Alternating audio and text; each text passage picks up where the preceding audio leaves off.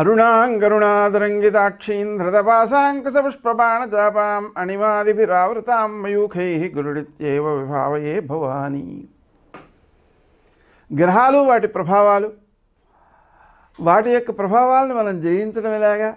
సానుకూలంగా చేసుకోవడం ఎలాగా? దోషాలను నివారించుకోవడం ఎలాగా?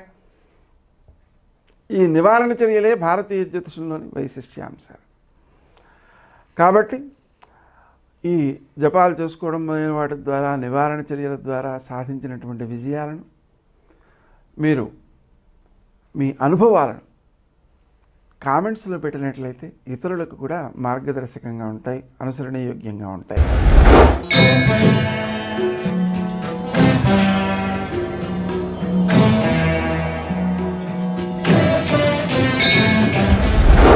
మీనరాశి. ఈ రాశివారు తాము ఆచరించే కార్యక్రమాల్లో విజయాలు సాధిస్తారు. లక్ష్య సాధనాశక్తితో ప్రవర్తించగలుగుతారు. ముఖ్యంగా మీరు ఏ ఏ కార్యక్రమాలను చేపట్టదలిచారో ఆ విషయంలో మీరు స్వతంత్ర నిర్ణయాలు తీసుకోవడం కాకుండా ఆధ్యాత్మికంగా ఉన్నతులైనటువంటి ఆత్మీయులు లేదా గణపతిని ఆరాధించడం ద్వారా ఏర్పడేటువంటి సౌకర్యాలు మొదలైన వాటిని దృష్టిలో పెట్టుకుని మీరు విజయాలను ఎక్కువగా సాధించగలుగుతారు.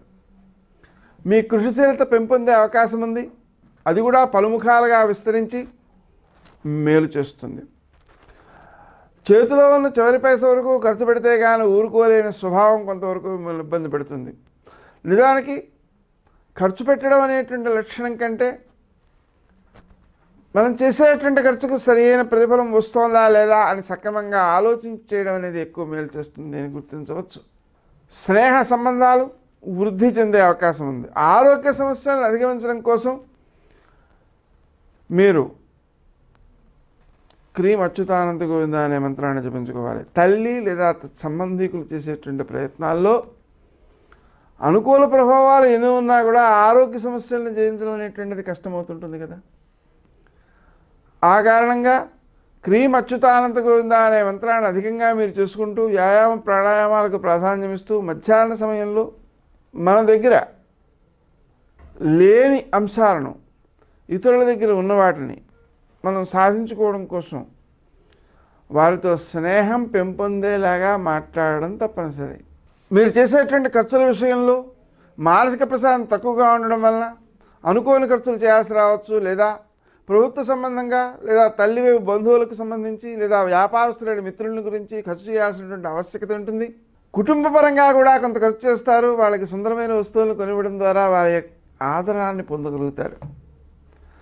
నూతన ప్రదేశాలను కూడా సందర్శించే అవకాశం ఉంది. ఆ విధంగా ప్రయాణం చేసి నూతన విషయాలని గమనించడం అనేటువంటిది చాలా చక్కని కృషిశీలత అని చెప్పవచ్చు.